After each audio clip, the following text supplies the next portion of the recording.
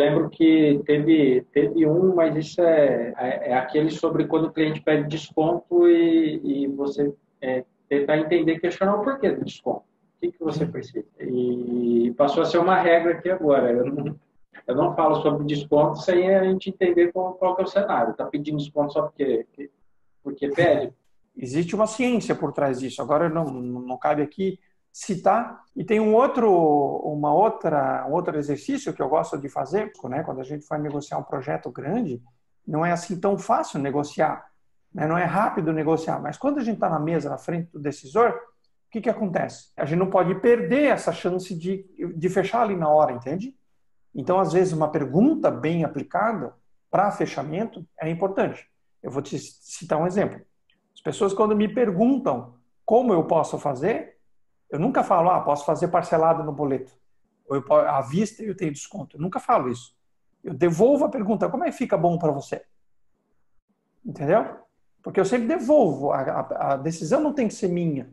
Eu tenho que devolver. É, agora, o que eu sempre digo é o seguinte: quem dá o preço inicial é que tende a ter que baixar. Né?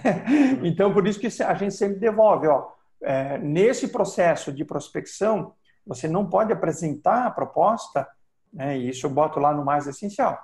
Não apresenta a proposta para o seu prospect sem saber se ele tem uma ideia de quanto investir, ou quanto que ele gasta hoje, ou até mesmo o seguinte, não precisa perguntar, às vezes o cara não vai falar quanto que ele quer gastar, mas você pode fazer uma avaliação é, de quanto que ele teria de retorno, né? nem ROI, esquece ROI, né? pode calcular ROI, quem consegue, consegue, mas pode ter uma ideia de quanto que ele vai ganhar mais, qual é, quanto custa os problemas que você vai conseguir resolver com o seu software. Então, quantifica isso, porque daí você pode usar isso a, favor da negociação, entende? Então, o que, que tu pode fazer? Por exemplo, hoje ele tem uma equipe de vendas de, sei lá, 15 representantes. Esses representantes, teoricamente, não custa nada para ele.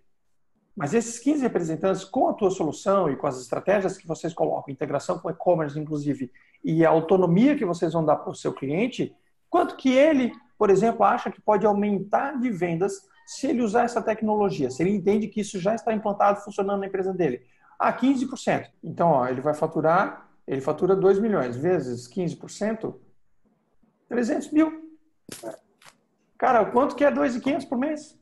Tá entendendo? É, nessa comparação, nesse cruzamento, é, sim, é fácil de demonstrar. É, eu falo, olha, se você. Isso, ó, eu nem implantei minha solução na sua, na sua empresa ainda, é, mas se você acha que vai aumentar em 15% o volume de vendas, o faturamento de vocês, eu vou fazer de tudo o possível para vocês conseguirem atingir essa meta. Então, eu só vou cobrar 10% do que vocês terem de aumento de receita, só. nem, nem 10%, tá entendendo? Então, assim, é. esse jogo tem que acontecer. Senão, a negociação, ela sempre vai ser preço. Me dá o teu desconto. Porque daí o cara quer ganhar alguma coisa, entendeu?